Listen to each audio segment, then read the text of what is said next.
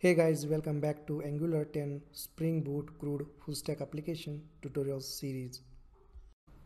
In previous video, we have made get employee by ID REST API and we have populated a particular employee data in update employee page. In this video, we will make update employee REST API call and we will send update employee form data to the update employee REST API and update employee REST API internally store this update employee data into MySQL database let's go ahead and let's write a REST client code to make update employee REST API. Let's head over to VS Code ID and let's open employee service. And here we are going to create a method. Let's say update employee. And this method takes two parameters. One is id of the particular employee and second argument as the employee updated data and this is the type of employee typescript class followed by colon and then observable. And here we can pass object as a type. And then we simply return this dot http client. And then this is a put http request. So let's call put method and use backtick and dollar within a curly braces let's call base url and then uh, slash and then dollar and let's access id using dollar curly braces like this. And let's pass second argument as employee object. That's it guys. Pretty simple. Now we're gonna call this update employee method in update employee component.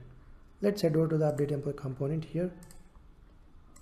And we have update employee form right? And once we submit the update employee form it will uh, you know call on submit event handler. So let's first define this on submit event handler in update employee component here. Within a on submit method we're gonna call user service. And then we call update employee method of user service object. And update employee method expect two arguments. One is id and another is employee object.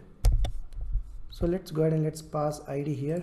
So id how can we get id uh, we can get id like this this dot id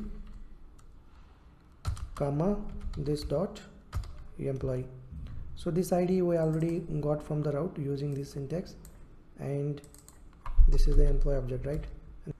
And this employee object will automatically populated uh, by angular using ng model directive.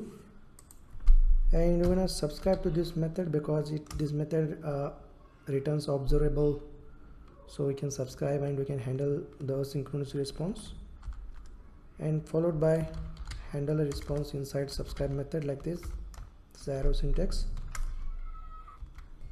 So once employee updated successfully and we got a success response from the REST API then we will navigate to the employee list page right? So for that we need to write a route here so that we should navigate to the employee list uh, page. So go to the create employee component and here we have already written a code. Let me just uh, reuse this code. Just copy and uh, go to the again update employee component paste it here. And first we need to inject a router here inside a constructor. It's private router and then it's a router. So make sure that router is imported at the top all right and we use navigate method of router and then we pass a path a particular route uh, which it navigate okay? For example this is the path we have configured in app routing module. This is and it will render a corresponding component that is employee list component. Now let's go ahead and let's call this method here. This dot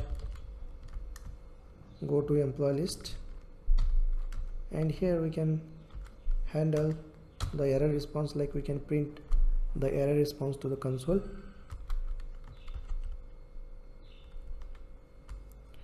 Alright pretty simple right? So we just call update employee method of employee service class. And then we pass id and updated employee object to the update employee method.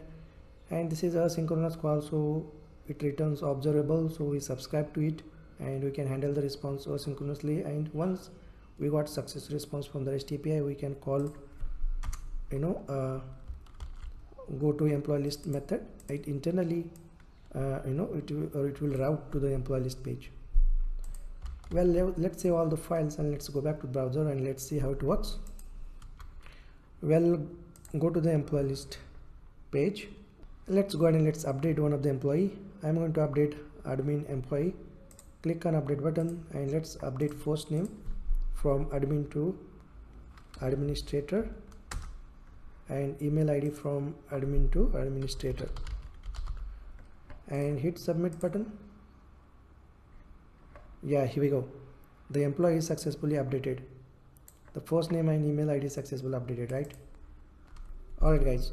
We have successfully made update employee REST API call and we have sent updated employee from data to the update employee REST API and update employee REST API internally store this data into a MySQL database. Alright guys we have successfully implemented update employee functionality. Thanks for watching guys. I will see you in next video